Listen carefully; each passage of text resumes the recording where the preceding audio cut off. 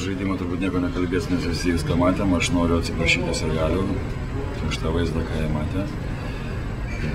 Tikrai rungtynės buvo baisios ir, ir nepabūsiu to žodžio didingos.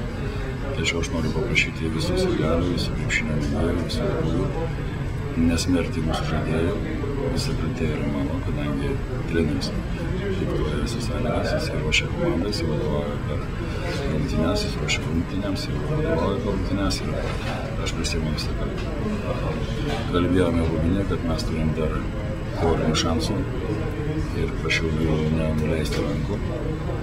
Tos, tose dviejose rungtynėse, jeigu mes pasiektume pergalę, dar prie palankių sąlygų mes galėtume galvoti ir svajoti, dar galim svajoti apie ketvirtį. Mums yra svarbiausia dabar atsigauti psichologiškai po tokio nokauto ir pasirengti rungtynėms su ispanais.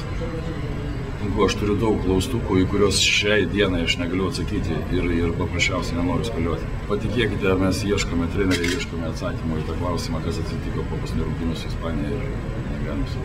Aš, aš e, kalbėjau su žaidėjais ir, ir prašiau, kad nurytų tą karčią piliulę, turime laiko atsigauti, pasiruošti ir išeiti bent jau trinktelti durimis, o susiklošęs palankiom aplinkybėm mes dar galime savietą pridurti. Aš esu to laivo kapitonas, kuris išlipo, išlipo paskutinis kestas iš kesmečio laivo. Aš negaliu netikėti savo žaidėjais, todėl aš dar kartą noriu paprašyti nekeikti, nes žaidėjai skaito, žinau, kad jie tai skaito ir kad jūs gniuždo, tai be jokios abejonės. Tai yra be jokios abejonės, nesakysiu pavardėm, bet aš matau kažkokių šiek tiek tolerancijos, suprasti, kad mes labai stengiamės, mums neišeina. Ir, ir tai yra mano kaip trenerio kaltė. Visų pirmiausia, tai reikia patikėti savo jėgomis, nes mes tikrai nesam tie puoliai krepšininkai, kad laimėtume 25 taškais. Ir, ir, ir mes esam praradę pasitikėjimą, tai čia yra faktas, kaip galiu šiandien pasakyti. Pažiūrėti, kokiose situacijose, kaip, kaip kai kurias situacijas sprendžia žaidėjai, tai jie tikrai savo klubus išgliaudino kaip prieštus ir net nusimastyti sportas toks yra, dėja mes ant to grėblio užšokom ir bet aš noriu dar pabrėžti, aš viską padarysiu, kad komanda atsigeltų ir sužaisiu tas rungtynes garbingai.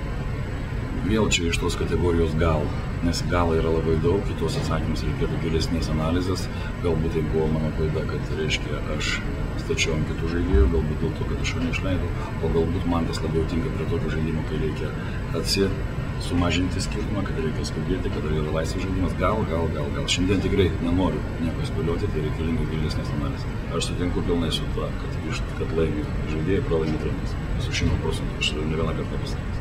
Todėl dar kartą prašau, nereikia plikti pamos daug žaidėjų. Ar ta vienybė yra ir trenerių štada?